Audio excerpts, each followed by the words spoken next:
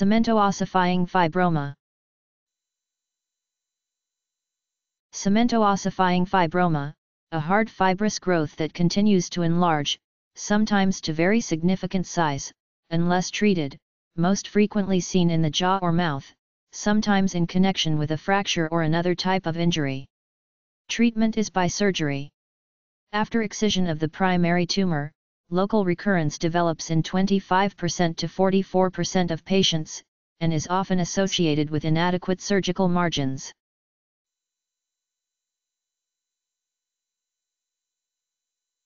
C E M E N T O O S S I F Y I N G F I B R O M A Cementoossifying fibroma